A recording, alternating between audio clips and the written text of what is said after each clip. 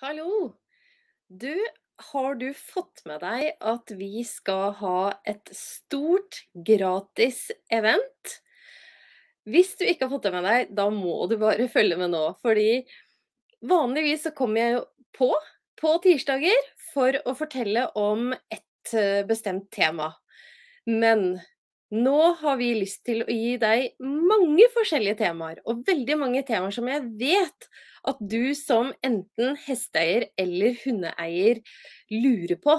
Og grunnen til at vi vet det, det er at vi har kjørt en spørreundersøkelse mot uh, våre kunder om hva som dere egentlig på generell basis da er kanskje mest usikre på, eller føler at dere vil lære mer om fordi det er spennende, eller eh, kanskje et tema som, eh, som eh, som du rett og slett bare syns er interessant. Og vi har laga et event som skal dreie seg om både hest og hund. Det ikke, skal ikke kjøres sammen, så du som er hund og hundeinteressert, du får hundetingene.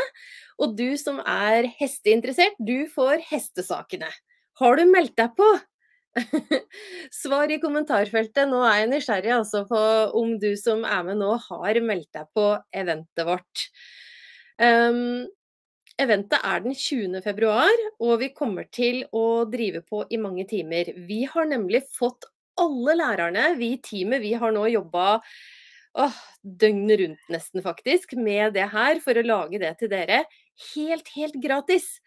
Og det er jo det som er så utrolig unikt. Det koster ingenting å være med. Vi har en uh, teori om at kunnskap, det er veldig viktig å nå ut med. Eh, vår på en måte visjon, det er å hjelpe til, rett og slett, med å gjøre verden til et bedre sted for hester og hunder. Og hvis vi skal få til det, da må vi få nyttig informasjon ut som kan hjelpe eiere til å ta vare på sitt dyr enda bedre. Lære å få kunnskap. Det er jo kunnskap som er nøkkelen til det. Og da spesielt den fysiske helsa, det er jo det vi er opptatt av.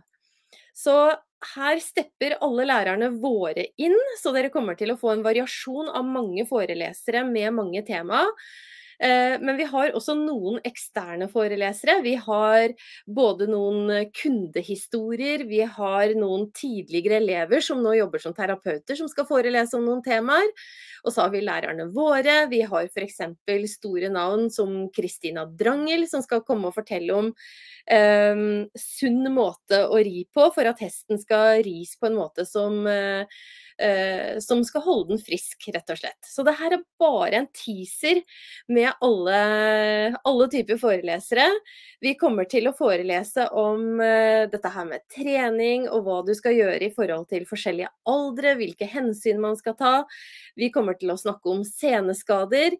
Vi kommer til å snakke om eh, ridning. Vi kommer til å snakke om klør og kloklipp.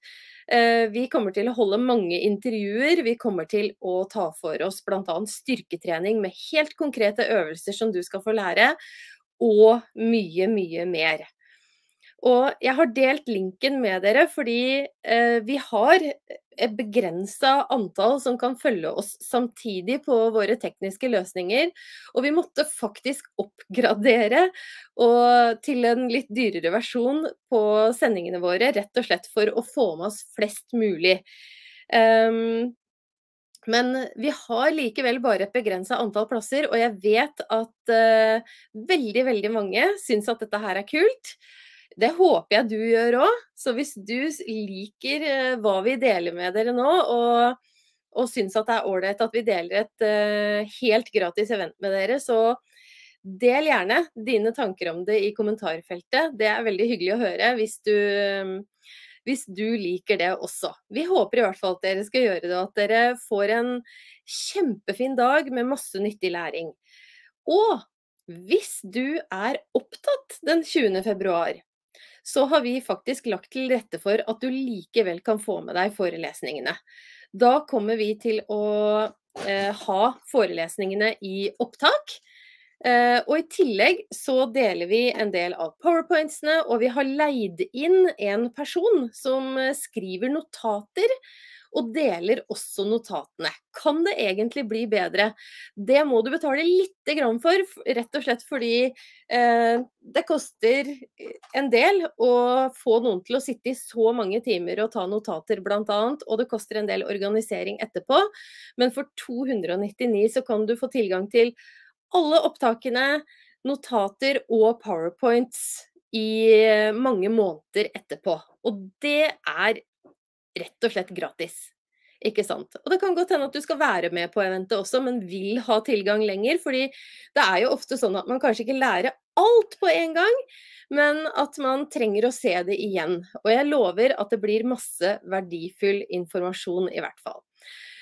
Og hvis du har hestevenner eller hundevenner som du ikke har tagga eller delt dette her med, så vil jeg oppfordre deg til å la vennene dine sikre seg plass på dette eventet også. Det er ikke hver dag du kan eh, hente gratis billetter til heldagseventer med mange forskjellige forelesere helt gratis. Og vi deler ut til vi ikke har noen flere plasser. Så du er hjertelig velkommen til å dele dette innlegget her, eller en av annonsene våre for den saks skyld. For jeg, jeg, lover deg at det er mange som kommer til å takke deg nettopp for den muligheten. OK, det var det jeg hadde lyst til å komme innom og si i dag. Og jeg gleder meg eh, for, til å møte alle dere som kommer og er med på eventet. Nå er det sånn på eventet at vi kan ikke se deg, men du kan se oss. Og det er helt trygt å være med, du trenger ikke å være redd for det. Eh, men det kommer til å bli masse gøy, masse spennende, og du kan kose deg med masse, masse nyttig informasjon. Håper vi ses. Husk at du inviterer vennene dine også, sånn at de kan utnytte seg av den muligheten dette her er. OK, ha en fin kveld videre. Ha det.